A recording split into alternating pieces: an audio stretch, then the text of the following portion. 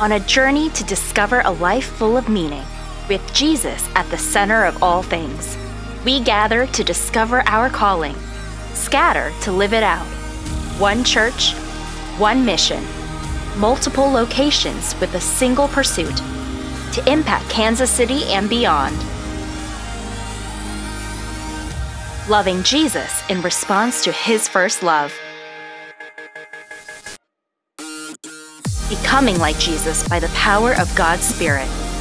Sharing Jesus because he is the hope of the world.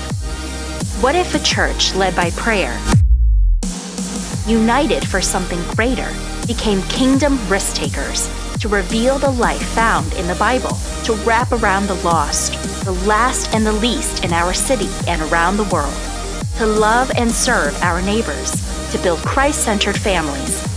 We will not rest until everyone knows they are loved as Christ has loved us. Westside Family Church. Loving Jesus, becoming like Jesus, sharing Jesus. We go further together. Morning, Westside Family Church. Can we stand as we worship the Lord this morning? We're going to take some time out call on the name of Jesus. Is that all right? Hallelujah.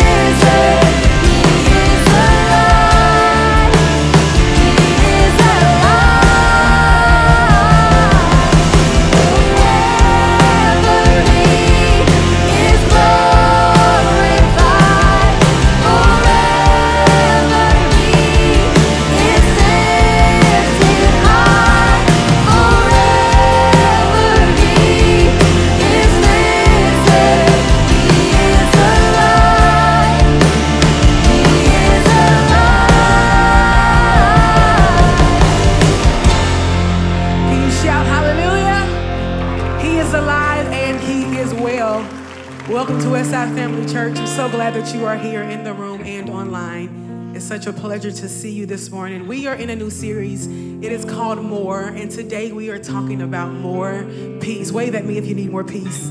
I need more peace. I desire more peace. And Dan Deeble is bringing that message. Go ahead and have a seat. We'll be back to worship with you after the message.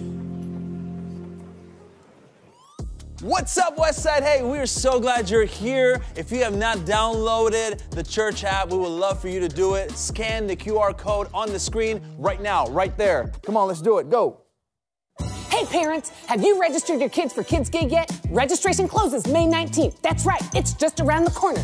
Do not wait one more day. If you have children ages 4 through 5th grade, don't let them miss out. Sign up today at www.westsidefamily.church backslash kidsgig. While you're on the site, signing them up, maybe you or a teen in your house would like to help. Fun at this level can't happen without a small army of volunteers. Whether you want to help out on stage, in small groups, or just serving food, we need you. So, if you or a teen in your house want to help us get the party started, sign up to serve today. Who's excited? You're excited. Who's excited? You're excited. Life can be tough sometimes, and we all face challenges like grief, depression, anxiety, addiction, or even just feeling lost. Here at Westside, we've created care groups with our community in mind. These groups are here to offer you a supportive environment where you can find encouragement and accountability as we navigate through life's emotional, behavioral, and spiritual challenges together. No matter what you're going through, there's likely a care group tailored to your needs right here. Join us in a space where we listen, understand, and uplift each other. Interested in joining one of our summer care groups? Visit westsidefamily.church slash care groups to learn more or sign up. Let's walk this journey together as a community.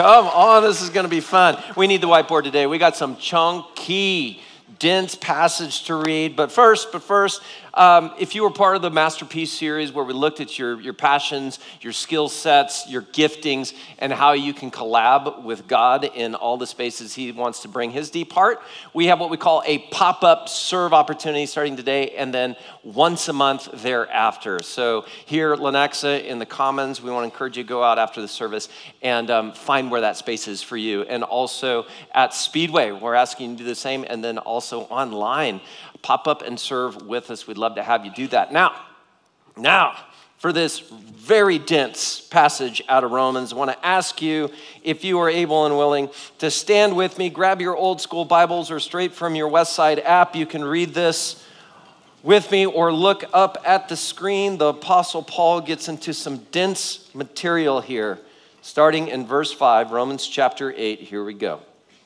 Those who live according to the flesh, have their minds set on what the flesh desires.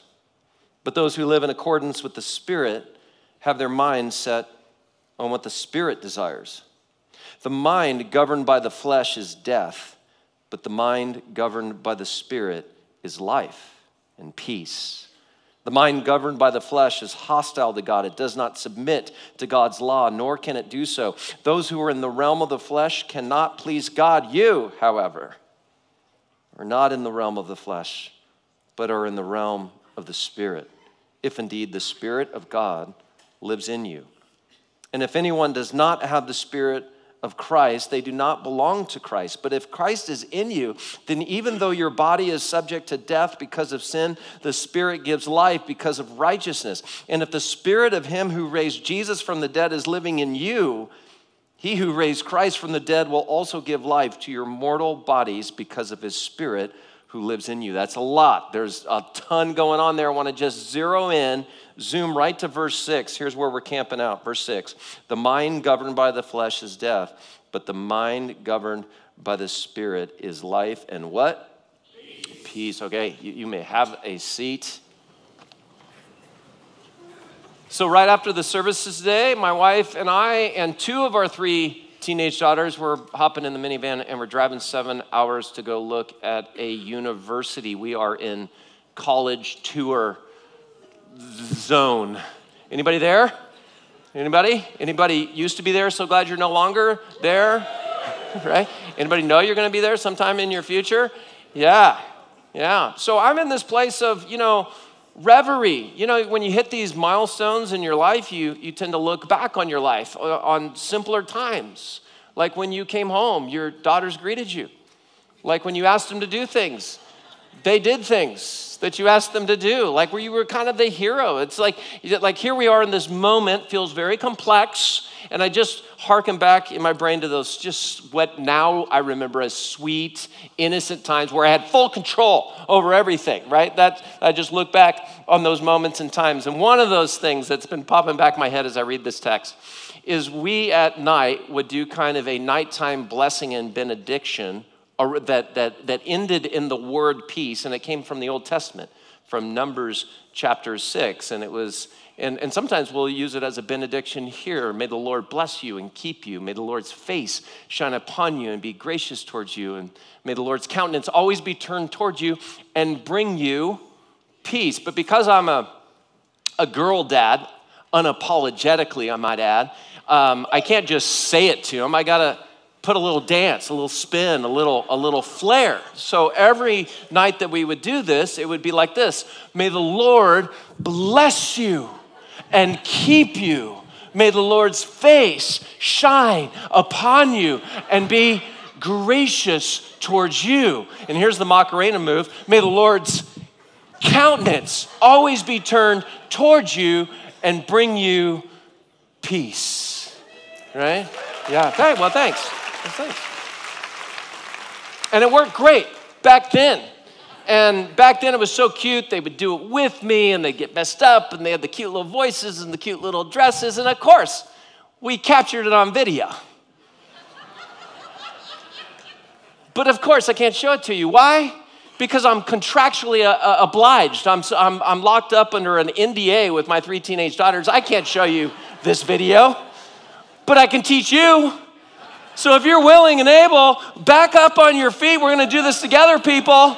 Let, we're going to do the, the church Macarena kind of blessing benediction from number six. Here we go. Just, just follow along. May the Lord, now lean into this, bless you and keep you. May the Lord's face shine upon you. And here it comes the rain. Be gracious towards you. May the Lord's countenance always be turned towards you and bring you, let's finish strong, peace. All right, hold your hand right here, right here to your heart, if you would. I just want to ask you this question as, as we pause here in just this moment. Here's what we know. Here's what we know that, that we're an unhappy nation, that historically we've never been more pessimistic as a people, that anxiety is a runaway train, that depression is going off the charts that we are riddled with strife, with striving, with so many things on our plate. And I just want to ask you do you long for that kind of peace? Just hold your hand to your chest. And if that's true for you, just say yes. Yes, we just, we long for it. We need. And Father, we just turn this into prayer. We just say, we need the peace of heaven to cascade like a waterfall into our hearts. We need the shalom that brings that deep peace with you, with others, with all creation, and within our, ourselves, where we would just be at rest within ourselves, Lord. Free from worry. The eirene, as it says in the Greek, that we would be experience your tranquility, your freedom from worry. Oh God, here today in this moment, we make space for you we pause and we say, Have your way here and now. Go to the deepest place. You're welcome into those places of our hearts and of our minds. And we pray this in Jesus' name. Amen. You may have a seat. Hey, how, how do we know if we're experiencing peace? How do, just kind of what's, what's your baseline on peace? I actually, in my consulting line of work, I use a tool called the Peace Index. Uh, interestingly enough. And, uh, and I want to just, as a diagnostic here now, just to get a baseline, I want to introduce to you the tool and just have a, and get a sense from you where you might stand in the area of your peace index, right? So we're going to look for an actual percentage score. I'm going to uh, explain the tool, and I want you to kind of be taking the diagnostic, if you would, uh, as, as we go along. And it starts with your purpose. Do you know who you are, why you were made, and what you were made for? And every day you wake up just putting your hand to the plow with fire in your belly. That's your sense of, um, and oftentimes vocational purpose. Now, I've, I've not left myself much room, but if we go over here, here's place, that sense of, I feel like I belong in all the different places. I, I, belong in my home, in my neighborhood, in my work. I have a sense of belonging and connectivity in my natural kind of environment. That's place. Down here is provision. That I feel well provided for by the Lord in all the different ways that I'm kind of seeking uh, my life and all the actually the other areas that we'll talk about here. And the next is your personal health. Now, under this are a lot of things. Under this is your physical health, your emotional well being, I'll just write P, emotional well being, your intellectual well being, and your spiritual well being. It's all in there, your personal health. And then lastly, your relationships. How are you doing in your key and important relationships? So here's how you're going to do this you're going to go 0 to 100. What's your score here? 0 to 100 all the way around. And so if you're like in a conflict with somebody right now, this is probably going to be lower, right? If you under place, if you like moved and you're now living in the basement of your in-laws and you're just living out of boxes, this score is going to be like a 42 down here. Okay? You see how this is working? So you're going to add up 0 to 100, 0 to 100, 0 to 100 all the way and then you're going to divide by 5 and yes, you may take out your phones if you need a little calculation help. So go ahead.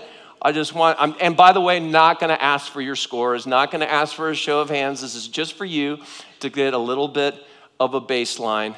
I'm just going to pause, give you only about 30 seconds just to write this down and, and add it up.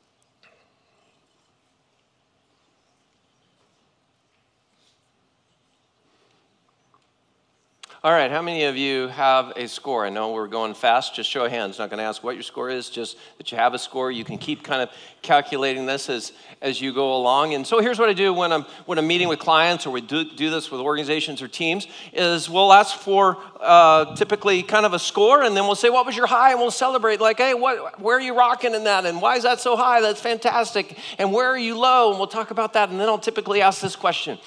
What's something you can do in the next 30 days to bump your score up from five or 10 points? Right? And uh, we'll look at one of these areas and we'll build a little bit of an action plan. And I got to tell you, here just in, you know, the confidence here in church is like, it's actually the wrong approach, according to Paul. And what I love about being able to gather together as the people of God is we can go deeper than some of the other places um, and actually get there faster. Because the Apostle Paul, in this passage that we just read, he says, Look, there's two paths to peace. And so let's say this is you, or this is you, right? Here you are. And we all So many of us, as we, as we pray, we, we want peace. We want peace in our relationships, peace in our purpose. We want peace in our provision and how well provided for. We want peace in all of these ways. And Paul says, I'm going to give you two paths to choose from. And did you catch the theme as we read it? There was this toggling back and forth between two big words. Do you remember the first word? It was an F word flesh, right? And five times he talks about flesh. What was the other word that he contrasts? Spirit, right? Okay, so these are the two paths. Which one is the right one? Right, okay, we can just be done. All right, church over, brunch, let's go. But it's not really, it is that simple, yet let's unpack it. What is flesh? What does flesh mean? By the way, Paul is hearkening back to like antiquity. There would be this contrast between flesh and spirit. Obviously, in the Old Testament, there would be this contrast to flesh and spirit. Is he saying that our bodies are bad and only spirit is good? No. Is he saying that we should get rid of all of our desire? Desire's bad? No, that's Eastern thought, and I know that's not good thinking because I have great desire for bacon and that's holy. Okay? So Paul must be talking about something else here when he's talking about flesh, which is a very neutral term in the Greek, it's sarx, right? Which just kind of sounds like the name that Elon would name one of his next kids. But, anyways, um, what is he talking about? Okay, so now if you've been to like a summer church camp and you hear the word flesh, what do you think they're really talking about? It's okay, you can say it here. Yes, sex. Let's just stay with the word lust, right? Thank you, bold man. Okay. And you're not wrong. You're actually kind of half right, but you're not wrong because what is what is lust? Well, it's it's not that sex is bad. Sex bad? Mm-mm. Mm-mm. But what makes it bad is when it is a misguided pursuit of pleasure, when it is a misappropriation and a disproportion towards the more that we all desire. That's when it gets funky. Okay? So that's what it is. Paul talks about this. The Bible talks about the, even there's the phrase the acts of the flesh, right? So so we get that. Paul in Galatians kind of gives a list of when these things go awry. Look at this with me. Galatians chapter 5. Here's what Paul says The acts of the flesh, there it is, are obvious sexual immorality, impurity, and debauchery, idolatry, and witchcraft, hatred, discord, jealousy, fits of rage, selfish ambition, dissensions, factions, and envy, drunkenness, orgies, and the like. I just like how he finishes. Oh, and there's so many more things we can talk about. What's important for you and I is any one of us exonerated from this list. And he just kind of throws it all in there. I mean, I wish he'd just take a few of them out and then I'd go, yeah, I don't know that I struggle with that. But I pretty much, like, I'm hitting, I don't know, four out of the eight or nine. So this is something that we go, all right. And what leads to all those things? Everybody wants to get here. Everyone wants, gets, gets here. Now, so that is part of the false path. But there's a second one that maybe we don't think about when we think about the word flesh as it's used in the scripture. And it's this law. Law is the misguided pursuit of our own goodness. If this is about the, the, the, misguided pursuit of more, more pleasure, this is the misguided pursuit of our own morality. And Paul talks about this from his own life in Philippians chapter 3. Check this out with me. Here's what he says If someone else thinks they have reasons to put confidence in the flesh, there it is again, same word, I have more confidence. I was circumcised on the eighth day. I'm from the people of Israel. I'm from the right tribe. I'm a Hebrew of Hebrew. In regard to the, there it is, the law, I'm a Pharisee. As for zeal, I persecuted the church. As for righteousness, based on the law, I was faultless. He goes on to say, but I consider it all rubbish, trash, when compared to knowing Christ Jesus my Lord. But he gives his pedigree, he gives his whole path to morality and says it was for naught. Now, what's interesting Who's Paul talking to as he's writing to the church in Rome? He's talking to essentially two categories of people the Gentiles and the Jews. What do the Jews care about? What did the Gentiles, categorically speaking, how, you know, what was often described as the pagans. What did they go after? Right. Okay. So Paul is talking to this um, to this mix of people, and he's trying to say there's only one path, and actually you all can join it and be aligned together in it. But he's trying to bring everybody into this place of coming up against their own walls. If you're pursuing lust, and remember, you got to just go, this word is, I, here's what gets me every time. Do I struggle with lust? Yes. I have a lust for people's approval. Hmm. See what I mean? I have a, a lust for um, closing that next contract. Right? I, I have a sense of wanting to take control in my flesh of all the things I can't control about my daughter's lives. If I want to get really worked up and anxious, I think about college tours, provision. College tours, provision. You see? I think about the proposal I worked on all of yesterday for, for a prospect, and I think about, oh, I don't know if that's going to come through, and I don't know how that's going to hit there. You see, if it's all about me pursuing the misguided pursuit of more, it's ultimately going to come up against a wall. And I don't know how this looks for you. What do you feel if you just stop for a moment and go, I've been running the rat race, and I'm really tired, and man, I just can't get here? What's the feeling that you, you kind of come up against? There's all sorts, right? There's, there's fear, there's agitation, but at, at the core, we just feel this sense of despair. Can you relate to that? Now, when we just go, but man, I, I want to pursue peace by being so right in the eyes of God, by pursuing my own morality, my own good, this, this misappropriated sense of wanting being in right standing with God, what does that lead to? Its own brick wall. I'll give you two words. Either you think you've gotten there and you're smug, and who likes being with smug people? Not me. Or you experience great shame because you know you can't get there, and there's, there's just you're overwhelmed by guilt and carrying all these things that you know that you don't measure up, and that brings you no peace as well.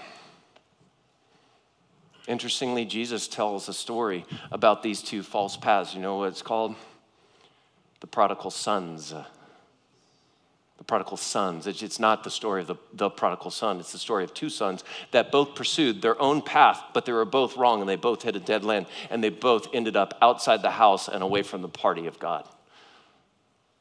They just chose two different paths. Which one do you most often choose?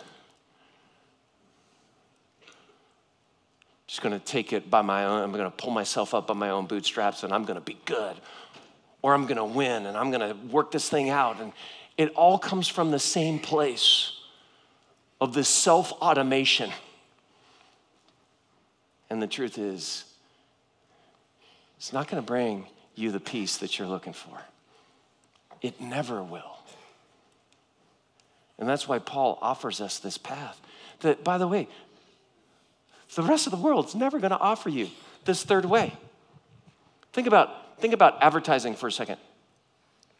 It is all about hitting this right here so that you can have better relationships, so that you can have uh, more provisions, so that you can have more things in your house. I mean, it's just, it's the empire of illusion, as one author would put it. And there's religious, all sorts of religious commercials and, and things that will hit on this part too. I don't hear anyone saying, but there's the very Spirit of God who lives in you. And I just have to tell you, for much of my life of following Jesus and leading others in Jesus, I didn't know much about this path. I believed it theologically, but with some sort of reticence, because it always represented for me a few things. One is I saw really wacky demonstrations of people being in the spirit. I'm like, I don't want that. But even deeper, it represented for me this surrender, this needing to let go, control. And I didn't want that. And I think theologically, I was raised in a context where I had the Trinity all wrong. It was Father, Son, and Scripture. I love the Scriptures. They come from Father, Son, Holy Spirit. But the Spirit of God was never something that, that I really paid much attention to until um, I hit a wilderness season in my life, much like Joseph did. Do you know the story of Joseph? Man, I can so identify with him. He's just chock full of all hubris and dreams, and he's super talented, and he's a people pleaser, and his brothers can't stand him. So they drop kick him down a well. They sell him into slavery. He gets caught up in this Me Too movement, falsely accused, ends up in prison, keeps thinking that if he could just interpret the Pharaoh's dreams, they'll recognize him and go, Oh, yeah, th- this guy's got a lot going on. he's like, Look at me, I can do this. Look at me, I can do this. Look at me, I can do this.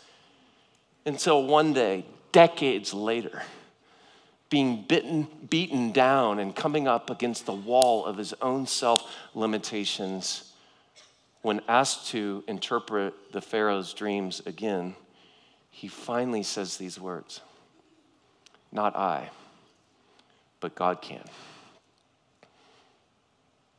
The Pharaoh was super restless, had such a low peace quotient, needed peace, asked Joseph, Can you bring that peace? And finally he got it. I'm not going to do this through my flesh. I'm not going to do this through just trying to people please or getting this right. Actually, only the Lord can do this. And I can so relate to that. I've always fancied myself as the one who, you know, is successful, is the one that always is the head of the pack, is the one that when the chips are down, you figure it out. Even in my spiritual journey, I was that way. But there was a season in my life where I couldn't. There was a season in my life where I got to this place in my life and I said, uh, I've got a good life. Why don't I like my life? I got to this place where the, um, the bar graph was starting to go down and not up and to the right. I got to this place in my life where I became self absorbed in my flesh, trying to figure it all out. And I didn't know my way out. And I remember I was driving to this prayer retreat that I didn't want to go to, but I knew that I needed breakthrough. And I remember I was about 10 minutes away from arriving at this retreat center, and I'm on the phone with my wife, and she just offered me the most beautiful encouragement. She just said, If you sense the Spirit of God moving, just go with it. I arrive, I'm late. It's a room full of 60 or 70 people. I know maybe half of them. And, and then the, the guy leading it is a friend of mine. He kind of says, Here's what we're going to do we're just going to make space for the Holy Spirit. And in that moment, I, I felt three things. One is I felt so vulnerable, so vulnerable. And then I heard, and I really believe I heard this from the Lord. I, I heard the words, It is safe here. And then, don't do this alone.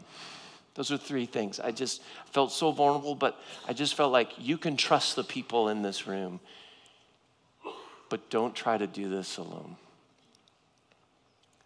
And I hesitate to even share more of this story because uh, it's just what happened for me. It's like one moment in my 50 years of life, and it looks different for everybody.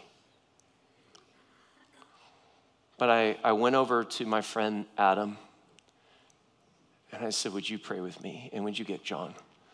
And would you pray with me? And then I just lost it. I mean, like for two hours, I lost it. I mean, like, the session ended. Everyone went to lunch. I'm on the floor, and there's just like tissues all around. Um, here's, a, here's a picture that someone graciously captured.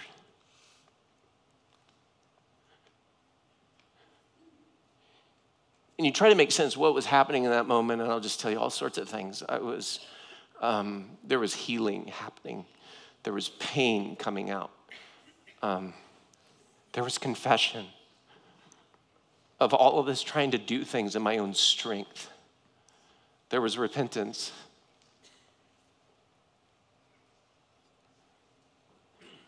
And then came freedom,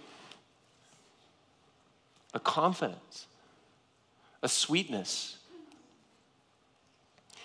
and a new, a new journey with the Spirit of God, the one that is described of carrying all the characteristics of peace that you and I want love, joy, peace, patience, kindness, gentleness, forbearance, self control. All the things that the world is hungering for and that you and I so deeply desire. It's in you.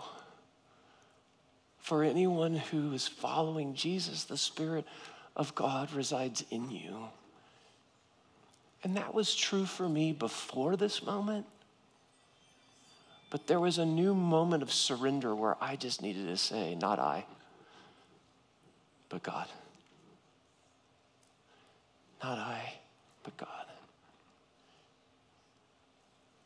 And I want to I want to invite each and every one of you here at Lenexa Speedway online community. We want to just simply make space for the Spirit of God to roam. And so, if you're feeling a sense of vulnerability right now,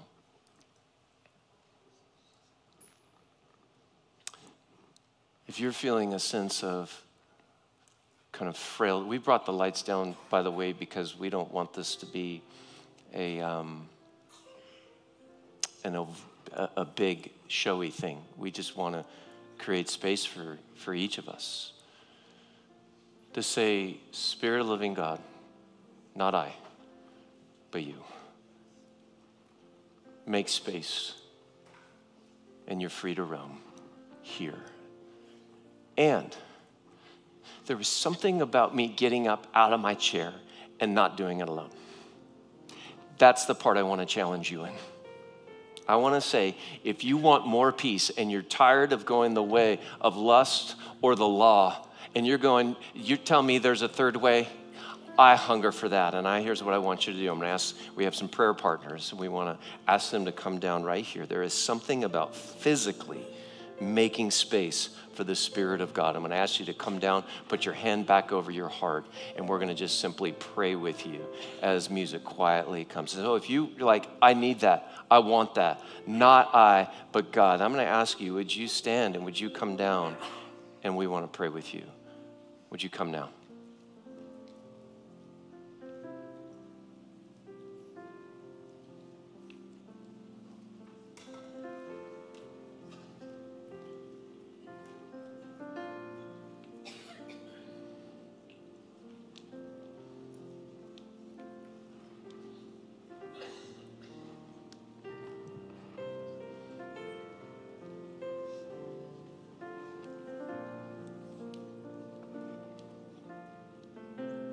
Just going to allow time to linger. You can pray from right where you are.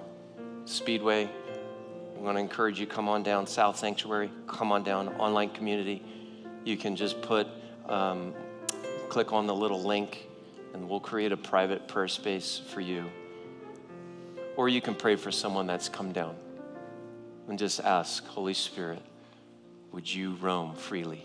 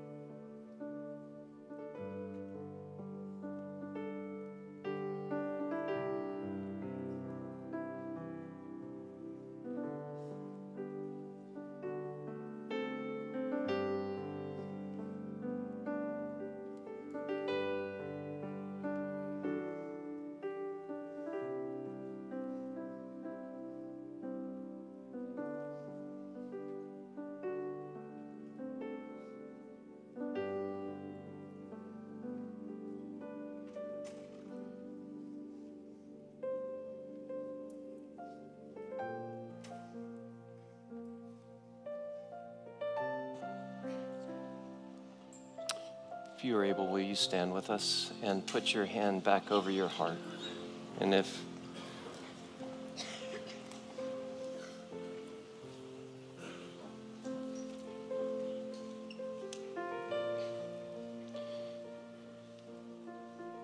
Holy Spirit, we love this truth. That as the psalmist says, when my anxious mind multiplies worry within me, it's your consolation, oh God, that brings us peace. That we don't have to do anything, we don't have to work ourselves out of it, we don't have to pull ourselves up, we don't have to dig ourselves out of a pit, we don't have to undo all the mess. We don't have to figure it out. We don't have to carry it alone, God. We simply just, in our inner spirit, we turn to your spirit that dwells in us. And we say, Here,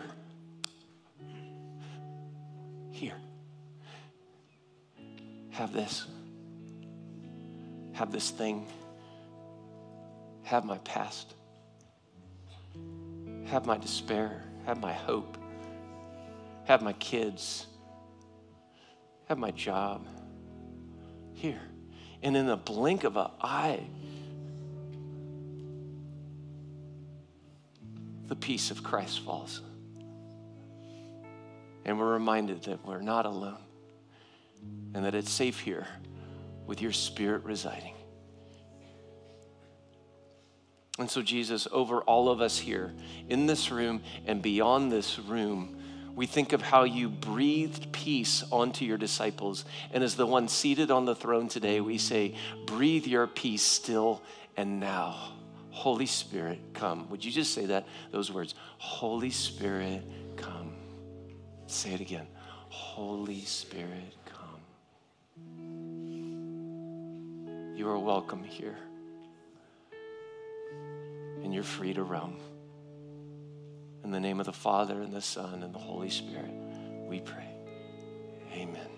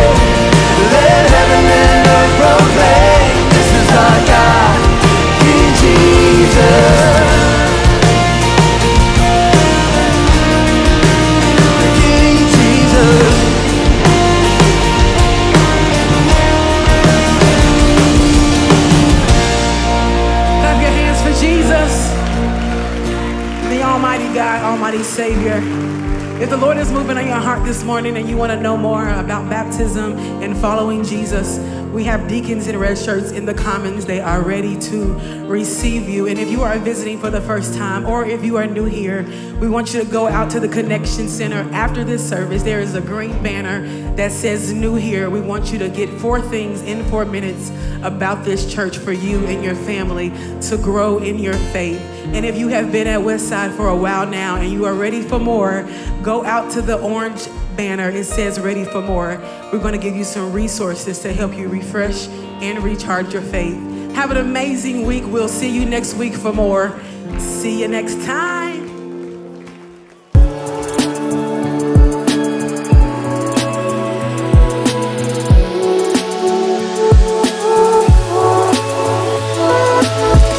Hey, Westside, thank you so much uh, for joining us. Uh, hopefully, you found some peace in that message. Uh, I appreciate Dan for really going there and making space for it. Uh, I'm joined by, there's, uh, well, aside from my dad, there's two other dads that I text on Father's Day and say thank you. And one of them is this one. It's you, Floyd. Yeah, thank you. I There's not a lot. that. It's you and Keith Jones. Those are the two guys that I text and say thank you. So, um, what's been well? What's your reaction to this message? To the message of more peace? I think it was very uh, relevant to the times that we're living in now, Mm. and I think something that we all are striving for to to seek peace, whether it's health, financial. I mean, I think he hit all the topics Mhm. today. I think he did, he did a great job. Yeah, I mean, I think these are certainly things that people purpose, place, provision, physical health, people. I mean, I, I if I was a betting man, I would bet that most people are struggling with three out of five of those at any mo at any moment in Yeah, your lives, and I think this is a, when he kind of was talking about advertising. And all I could think of was when I see advertising now is it it used to be we're older. It used to be the product, right? It was they were Right. selling you Folgers coffee or something like that. Mhm. And now it's the it's all about the emotion. Right. And I don't I've never been smiling and eating Taco Bell, so I don't know how certainly not smiling later on in the day. But they're they're they're trying to sell you this emotion and I think that's a little bit of what he was saying was that illusion of oh this is the thing that's going to make me I can go buy the thing that makes me happy. And Right. I think that's what um, I know a lot of students hang out in this service that they're getting from I don't know the TikTok generation where it's like, oh, I have this car, oh, I live on the beach, Right. and I don't know. I'd love to hear what your experience is, but my experience is if I'm unhappy, I'm just going to be unhappy on the beach, or I'm going to be driving Right. faster in a car. I'm also still unhappy. So Right. what's what's that experience been like for you? Well, you know, I think you know you have Americans striving for the American dream. Mhm. You know the you know two cars, yeah, you know three three kids. Um, and I think earlier, um, as we were getting started in, in life, that was kind of our pursuit. Mm, You know, mhm. you, you pursue a successful life to where you can provide for your family.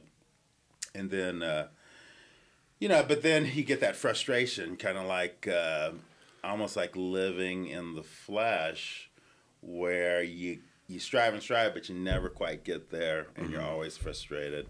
And I think that's when um, you start seeing what's really important in life, and it's not the cars, it's not the house, but it's God, Christ, and relationships. And uh, I think that's the key.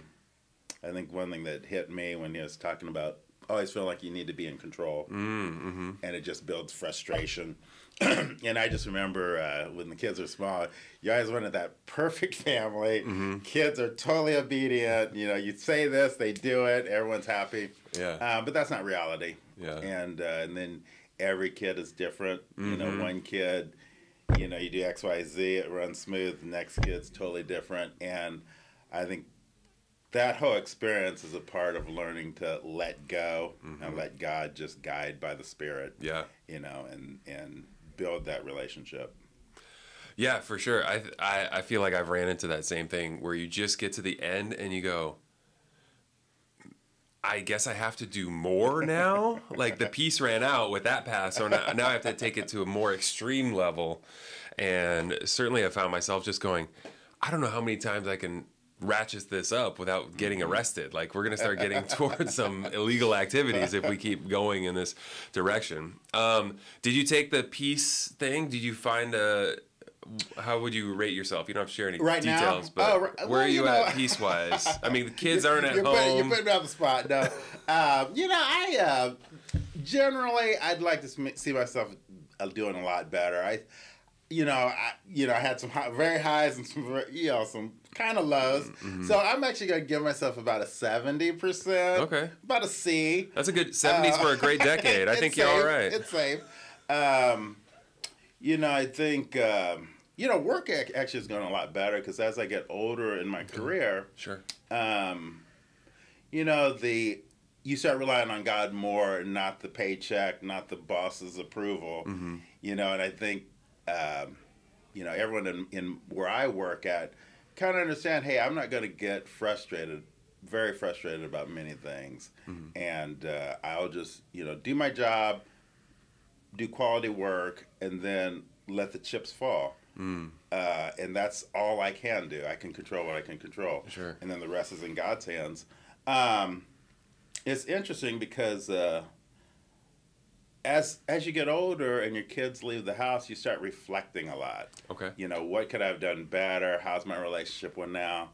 And I think with my relationship with God, I'm learning that we're never going to be perfect, but we always want to keep short accounts with God, us and God, and then us and our relationships with our kids and, and our, our spouse. Yeah. Um, and then with my kids, you know, as they got older, I learned to be more transparent with my own mistakes Mm. rather than thinking I'm on this pedestal. But you talk to them as an adult and then you share, hey, here's what I did, here's where I blew it, you know, here's my advice for you in that situation, but it's your decision. You know, and so you just treat them differently. And then uh, it's interesting because as you become more transparent, um, they respect you more. Mm. You know, as they get older, and they, you know, you're not on this pedestal giving, yeah, giving them advice, Sure. but you're more, uh, you know, level adult to adult, and that's that's been an interesting transition, and it's uh, gives you kind of peace in your relationship with your kids because uh, it's more at, at an even level and more transparent. And I think that's the key with any relationship is just being transparent. Um, yeah, it's interesting because I was thinking, what, what do I talk go talk about when I get here? Yeah. And you know, and uh, I realize the importance of relationships, even in a in a discipleship, mentoring relationship amongst men, peer men in general. Yeah, because I was just thinking, you know, what if David had a had a commandant who could have advised him before he met Bathsheba? Mm. Bathsheba. Mm-hmm. You know, what if he had someone said, "Hey, David, let's sit down and talk." Yeah. Yeah, how his life could have been different. The whole Absalom, mm-hmm. Absalom uh, incident, the whole leaving the castle, that could have all been reversed if he just had a friend that he could share his deepest temptations. Sure. Uh, you know what I'm saying? Mhm, So I, yeah. I think that's um, very important uh, that we're transparent with others to, to keep us grounded and, and humble. You know, humble. Yeah, uh, and it's so important, and that's certainly what you find in, in student ministry. Anytime I had a conversation with somebody, it was just like, "This is where I messed up. I just don't want you to go down this." I went down the path similar, Right, and it just right. Mm-hmm. dead ended. And then I tried another path, which you might think about taking, Right. That also dead ended. you know, and it, it was just definitely a cautionary tale of just going like, you know, I at some point you get to the end of your abilities and you just go all right i push it as far as i can go and i there's nowhere to go and Yeah. it, it, it just it just ends in a way so what what is it uh, dan kind of mentioned uh, he didn't mention the kind of church he grew up in, but I have an idea when he Mm-hmm. said the Father, the Son, and the Scripture instead of the Holy Spirit. Right. What what's that been like for you as a follower of Christ? Your relationship with the Holy Spirit. What's that? Like? Well, okay. So I grew up in a traditionally Baptist church, um, predominantly black Baptist gospel, you know, gospel music and all that. Um, and, you know, I had friends who were part of the Holiness Church. So you heard, you know, getting speaking in tongues, getting into the spirit, and Mm-hmm. Yeah. so you did kind of shy away from the spirit. Uh-huh. Um, you know, you see somebody get happy at church, um, and and you know, and I'm saying, I'm just saying, people experience the spirit in different ways. Mm-hmm. Um, I think as I grew in my relationship with Christ, I learned to listen for the Spirit Mm. just in my daily walk. You know, talk to that person about Christ or don't say that, Floyd. you, know? And then, and I think that's when Yeah. you try and be more sensitive because he is a comforter, he is a guide, he does direct, and I think it's our job to listen for that spirit so we know how to do it. And just kind of sometimes you just kind of give up and you say i don't know what to do. Yeah. christ lead me show me. Holy spirit lead me. And i think that's and that's kind of where i am now is uh, trying to live life no fear but humbly listen to the spirit as he guides me. Yeah. um, and you know talking about peace i think uh, as i have more time i try and spend more time in the word and that's mm-hmm. where my peace comes from. Mm-hmm. Just uh, communing with god and praying in the spirit praying for things that i don't even know what i'm praying about but just mm. help me mm-hmm. help guide what what should i say? What should Right. I, how should i pray? Yeah. you know so. Well, I think there's this there's this other S word that he didn't write up there that um, is stress. Hmm. But there is I, I know people will say like stress is bad, but there's actually there's that middle ground right here where you feel your best. There's a certain amount of stress that helps you uh, operate life, helps you do good do a good Sure. job.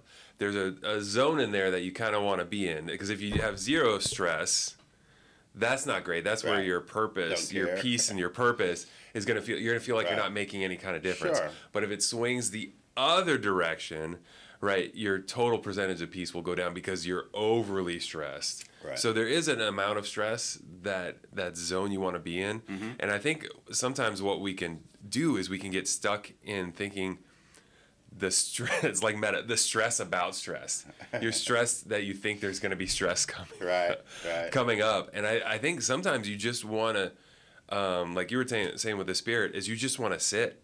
Like do i have to make a move right now? And if the answer is no then don't make a move. Right. just be like all right i'm i just know this about myself. I'm not going to make my best decisions if i'm feeling very stressed out so let's just not make any decisions mm-hmm. at this moment. Right. let's take 12 24 36 hours and just be still with it. If you have the luxury i know some people don't but mm-hmm. sometimes you just go all right i would really love to not have to make this decision. Maybe some more information will become available. You know what i mm-hmm. mean? Because sometimes we make a decision and we go ah! Sure. and, and then you go then you find out one more thing and you go oh i think i would have done something different. Right, right. you know? Oh so they weren't actually trying to be a horrible human being. There was just a miscommunication.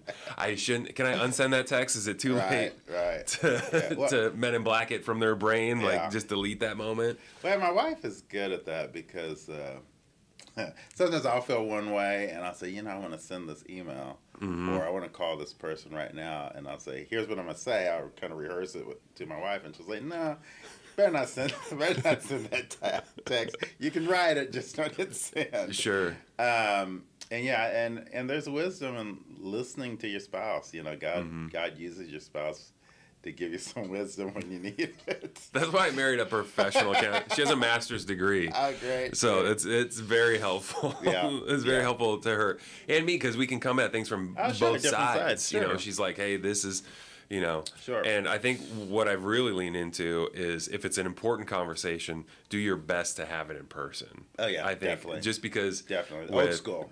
With old school. texting or emailing, Right. I've a letter could probably feel passive aggressive at this point, you know. Yeah. So having so so they can see that um, my face Sure. uh, and hear my uh, unemotional voice. Sure. And just go, oh, well, okay. makes a huge I see what you're saying. And I think the generation now, the next generation, and just everything's texting, email, and there's not as much face to face that I think there should be, just because you know you, you do look at body language. you know.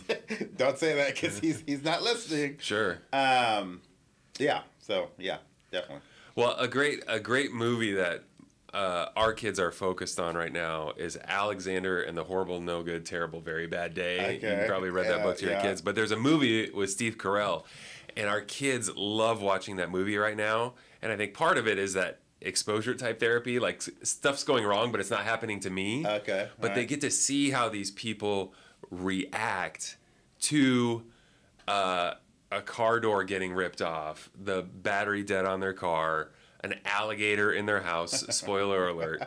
You know what I mean? Like they get to see how people are reacting, and that's why usually I try not to let them just watch it over and over. Right. But this one I'm kind of letting go just because they get to see. And Steve Carell's character is very calm through the whole. He's like, "You got it, buddy. Okay. You got it, buddy." right, cool. But then at one point he he loses it Uh-huh, right uh-huh. and and his family comes around him and hopefully the takeaway for them is like we're all gonna be that at some point in our lives we're just gonna have just be stressed out beyond belief and then we then we can look to the person next to us or we can reach out to a friend and just say hey i need you to come around me right now and i think that's what dan was saying in that moment of vulnerability Mm-hmm. Yeah. is like you and sometimes it's you don't even need to know everything i just know like hey i need to be i need you to be here.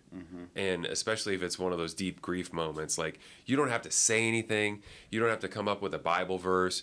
Just know like hey we are in grief or we're stressed and i you just need to be here. Right. No, definitely. Um, and it, it does that kind of works in a in a uh, secular professional field where they see how you handle stress. And they see that you don't get amped up very often. Um, and then that can be a good segue into you know why is that, and then you can share your, your walk with Christ. One thing I want to, to talk about is uh, when you brought up uh, you know no stress versus that finding that Yeah, sweet yeah. spot. And I think for me, um, you know, when you get into the people pleaser mode uh, instead of the God pleasing mode, then you get into, you know, what can I do more for my boss? What can I do more, you know, for this person, that person? And that is stressful. And uh, I think when you try and listen to the Spirit and please God, and He's your number one audience, then you do kind of find that, okay, I need to share my faith. I need to get into the Bible um, because it's the right thing to do. Um, and it's, it's like that healthy tension, you know, to where you're doing what, what you know you need to do. And then that's where uh, actually doing that and fulfilling that purpose brings upon the peace because you feel like, hey, God's using me. Um, where I don't know what, what he's doing, what Yeah. his plan is, Yeah. but it's a great ride. yeah And uh, I'm enjoying the ride. Yeah, I love it, and I think that's I think that's so true, and I, I think what what Dan is saying is there is a path to peace, but it's not a shortcut. If you're looking for peace in these areas, it's not uh, it's not gonna you're not gonna find it on a reel where like here's five tips to have more peace in your life. He's not selling it like that. He's saying, you know, if you're to go after purpose, that's the long game. If you're if you're if you want peace with people, that's tough. Living with people is tough. My wife can attest to that. She's lived with me for 14 years. I'm not an easy person to live with. I wake up way. No one should wake up as early as I wake up on purpose. It's ridiculous. But provision. I mean, everybody is feeling that right now. Mm-hmm. I think that's a, a piece that people are looking for. And then physical health is just one of those things that can sneak up on you if it if it hasn't Sure. been in in your focus. Right. You just go, What happened? oh, What holy happened? cow! you know? 20 years ago, I was in Like- shape. Like, yeah, I played baseball. Yeah, when I was 12. That was decades ago. Yeah. So, um, it's um, it can be one of those things that you just um, and maybe uh, maybe for you it's you need to write these down on a note card and put it uh, in your car. My my mom would use those cards to cover up. Uh, indicator lights that the, the car's gonna die. So i wouldn't recommend that. I can't have any lights on in my car. It drives me nuts now. But you know maybe put it on your mirror or make it your home screen it, that you're praying for peace in these places and just mm-hmm. just know and sometimes you can get especially with people you can go oh it's not me it's them. They're the mm-hmm. ones disturbing the peace. And I, I i'm pretty sure the bible says as far as as long as it depends on me Yeah. I will choose peace with these people. Right. And so that's why I think those in person interactions are so valuable because that's if your love language is quality time, that's quality time Right. Right. with people. Exactly. Yeah, and one thing I do want to bring up, and I think they're going to talk about this next week, maybe, is the healthy ba- healthy boundaries. Mm, You know, For sure. because there's certain people that. Was that on purpose? no, no, no. I just Oh, said- no, that's not peaceful, at all. Floyd. Not at all. No, but there's certain people in your life where you do extend the olive branch, um, but it comes back void. Um, And that's fine. And right. that's but, that's it you does need to initiate. You need to, yeah, you need to initiate. You need to not have those ill feelings, you know. And uh, I think that's another path to peace. Not, you know, not having those ill feelings towards others, even if you know they don't reciprocate. yeah. Um, but you know, and then sometimes there's that healthy boundaries where you know you help people as much as you can. Mm-hmm.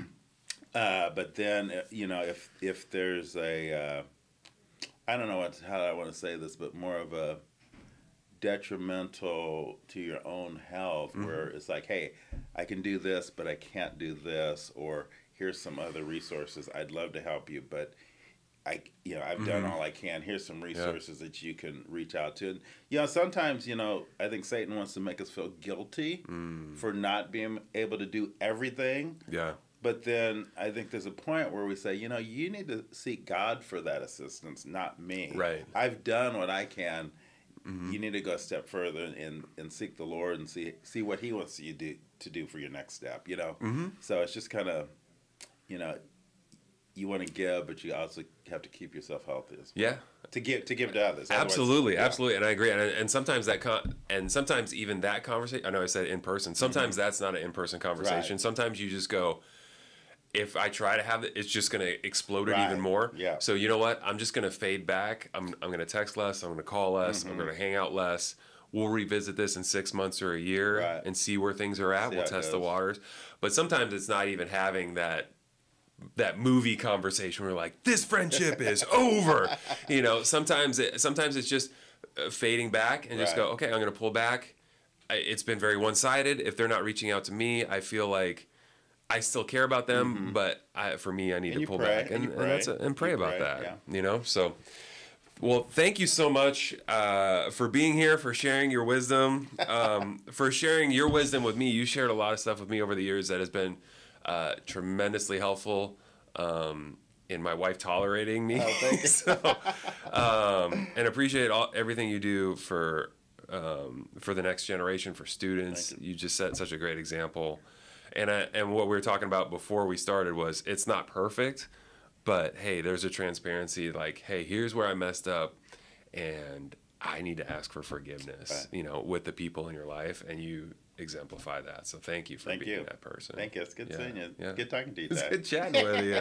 We're coming back next week. Dan Deeble is back again, so probably more whiteboard next week. Sounds good. We'll keep it going. But appreciate you. you. guys uh, take a step this week towards peace. Write those things down. Keep it in front of you, and just go. How can I be a peacemaker this week? Amen. Amen. Thanks, Floyd. Thank you.